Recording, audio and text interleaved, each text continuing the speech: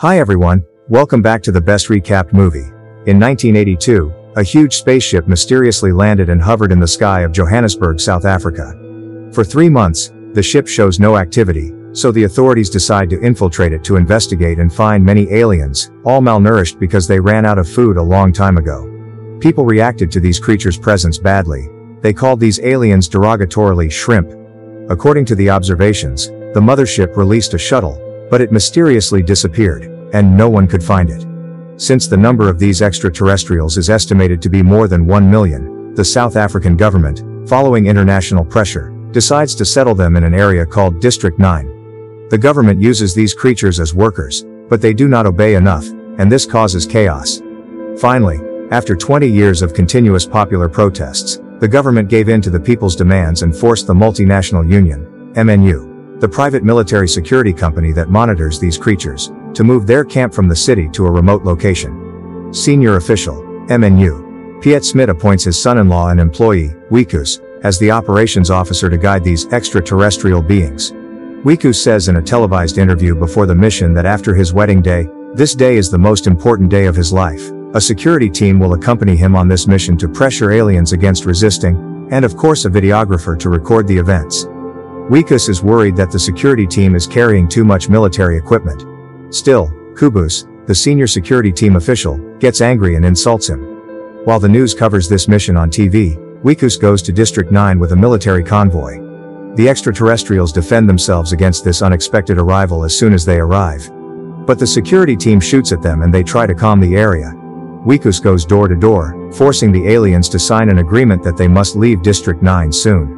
Since they are interested in cat food, sometimes, Wikus uses it to convince them. Some of them accept, and others are not willing to cooperate, so Wikus orders the security team to force them. In one of the houses, he discovers the extraterrestrial birth system, and by showing it to the camera, he explains that this is a unique discovery, and then orders his security team to burn that place.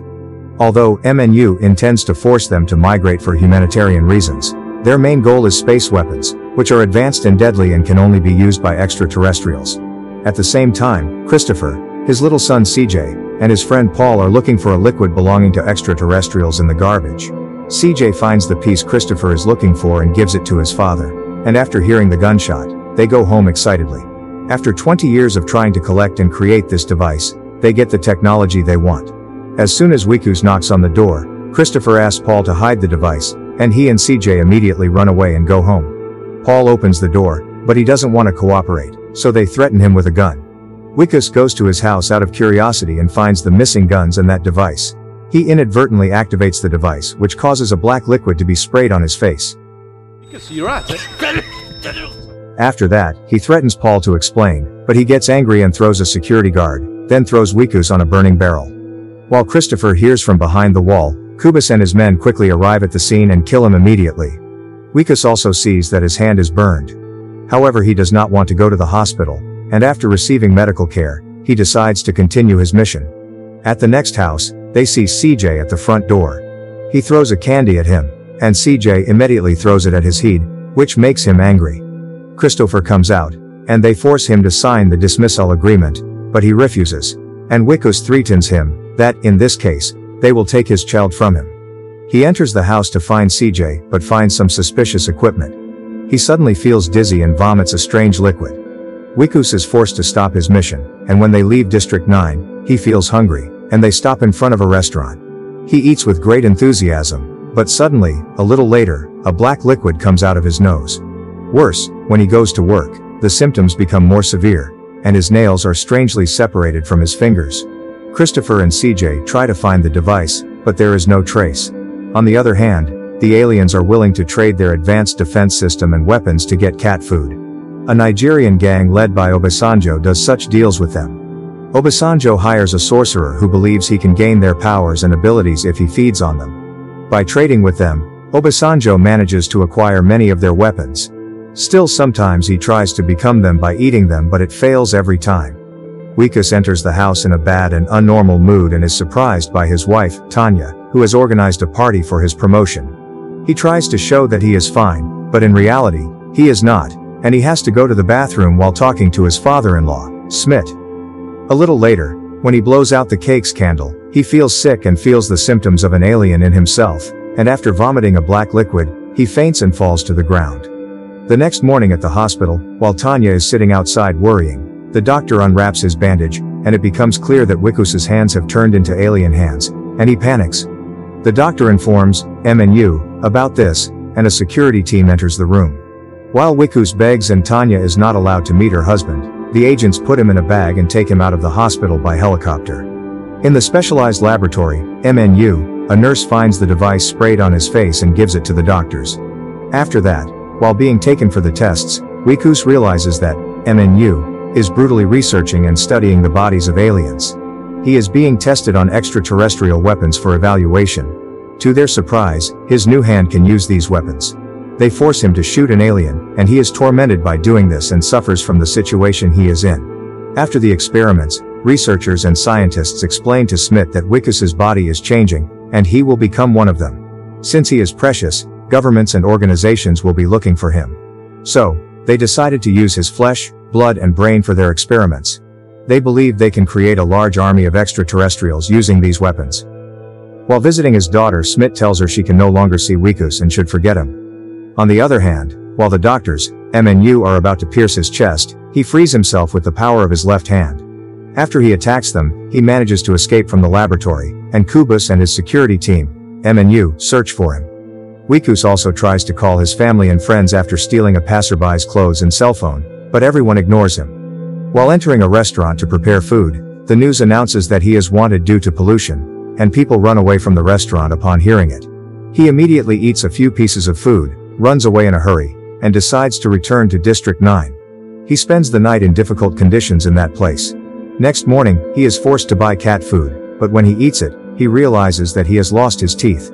At this moment, Tanya calls him, and Wikus claims that her father conspired against him. While she is crying, he asks Tanya not to disappoint him. Tanya hangs up in a bad mood, and Wikus decides to cut off his hand, but he is in too much pain when he cuts off only one of his fingers, so he can't continue. He hides in a house when he realizes the security team is looking for him. He sees Christopher and realizes he is working strangely with computer systems. Still, a few moments later, he falls unconscious on the ground due to bleeding. Christopher takes him to his secret room, and when he regains consciousness, he asks him about the device. Wikus explains that the people in the experiment took it from him. Next, Wikus is surprised by the hidden and strange room he is in. Christopher and CJ explained that they needed that device to return to the mothership, which they achieved after 20 years of effort. Christopher explains that by returning to the mothership, they could stop the process of his transformation into an alien and return him to his previous state. At first, Wikus is happy, but soon, they both know it is impossible to get that device. Christopher says that there might be a way to get it, but on the other hand, Wikus doesn't have much time. When night falls, Wikus goes in front of a mirror and notices that his transformation process is progressing rapidly. At the same time, Tanya calls him again. This time, he promises her that he will fix everything and has a plan for it. Unaware that Tanya has contacted him under surveillance, MNU, so they can track him down. CJ tells his father that he misses their planet, but he explains that they can't go there without that device and that they will be moved to a new camp. Wikus hears this and tells Christopher that this camp is not a better place.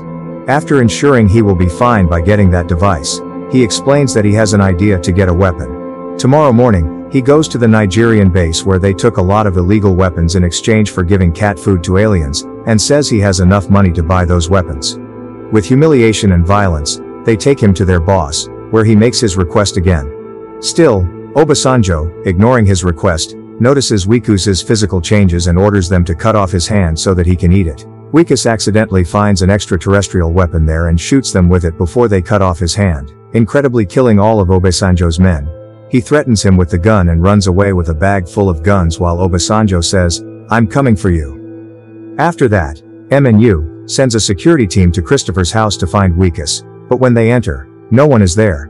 Koobus decides to find him himself, but simultaneously, there is a huge explosion at the front, MNU's door. It happens, and Wikus and Christopher break into the building with extraterrestrial weapons. After killing some of agents, they finally manage to enter the laboratory, and Christopher is shocked to see that his people have become lab rats for humans.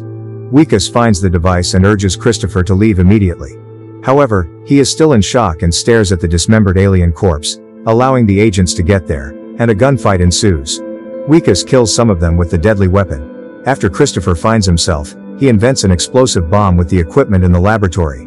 With it, they succeed in breaking into the parking lot. They return to District 9 by stealing one of MNU's cars, and Koobus and his men are chasing to find them.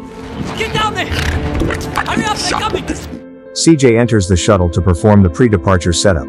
As Wikus questions him about his recovery process, Christopher explains that it's taking longer than he thought. He says it will take three years because there is not enough liquid to feed the shuttle. Wikus gets angry and knocks Christopher unconscious then he immediately enters the shuttle and puts the device to activate the IT. Koobus and his men enter the house and threaten Christopher to open the shuttle door, but he does not cooperate. The ground shakes and Koobus and his men leave in fear, revealing that the shuttle that disappeared years ago after being released from the mothership is now slowly taking off. Koobus orders his men to stop it, and after firing a few missiles, one of them hits the shuttle and causes it to crash. Christopher kneels in despair, and after he is arrested, Koobus and his men search the shuttle. While CJ is hiding, they arrest Wikus and take him inside the car. Obasanjo orders his men to attack, and the MNU cars are shot by the Nigerian gang one after the other, causing them to crash. The fire between them continues until they get Wikus and violently take him to their boss while leaving Christopher in the car, ignoring him. CJ tries to reactivate the shuttle, and in addition, he manages to activate the mothership and even other alien technologies, including the combat system in the Nigerian base. While Obasanjo and all his men are trying to kill Wikus, the combat system, by scanning them, collects the bullets that are fired at him. After the Nigerians' weapons are empty, he sends the bullets toward them, and all are killed. He kills Obasanjo with a fatal shot. Koobus finds Christopher and tries to get him to talk by beating him up. Still, he stubbornly doesn't cooperate, and after seeing this, Wikus decides to enter the mech armor and confront them. Koobus and his men are shocked to see him, and when he escapes, Koobus orders them to chase him. Since Christopher does not cooperate with them, he orders them to kill him as well. Wikus hears this from inside the mech armor and is enraged. He returns to save him, blasting the agents with his advanced weapon before they kill Christopher. He supports Christopher until he reaches the shuttle, and he promises to come back to save him in three years as a thank you. Christopher enters the shuttle and hugs CJ, then by adjusting the mothership, he sets it in move. They manage to take off while Wikus is still fighting the gunfire. Wikus collapses from the intensity of the gunfire, sees the shuttle rejoining the mothership, and tells Christopher to go home. While losing most of his power, he gets out of the armor and pulls himself on the ground. Koobus approaches him to kill him while Wikus's transformation into an alien has progressed to the point where his left eye is yellow and swollen. He points the gun at him, but suddenly, a bunch of aliens come to his aid, and after attacking Koobus, they cut him to pieces. Christopher also adjusts the mothership to return to their planet. He moves towards the sky, and the people on this unforgettable day excitedly stare at the sky and rejoice that the mothership has left the Earth. This is the last image of Wikus seen. After that, one can only speculate what might have happened to him. In a recent interview at his workplace, he showed the camera a photo of Tanya in a wedding dress, and believed that she was an angel. Despite everyone thinking he's dead, Tanya believes he's fine because she found a handmade metal flower in front of the house. It turns out that the metal flower was made by Wikus. Now, he's fully transformed into an extraterrestrial, hoping that maybe Christopher will return one day. Don't forget to like the video and subscribe to our channel.